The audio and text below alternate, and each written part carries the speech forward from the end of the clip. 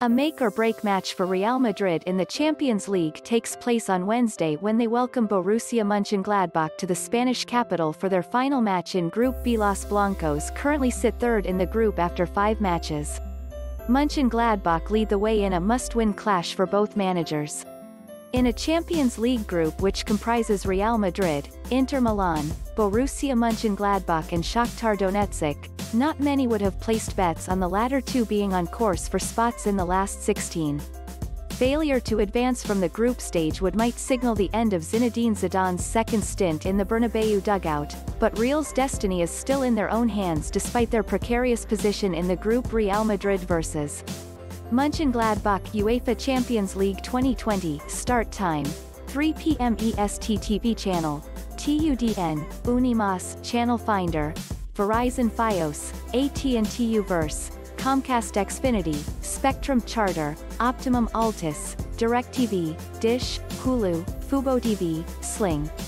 Live stream, Fubo TV. If you don't have cable, you can catch the match via Fubo TV, which has a free 7-day trial. More coverage via the Associated Press Barcelona, Spain AP, Real Madrid is used to breezing through the Champions League, rather than facing must-win matches near the end of the group stage.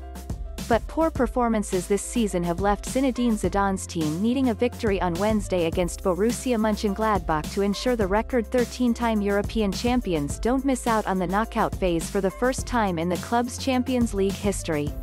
With a draw, Madrid can still squeak through to the round of 16 if Shakhtar Donetsk loses at Inter Milan. Madrid has never failed to get past the group stage in its 25 previous campaigns.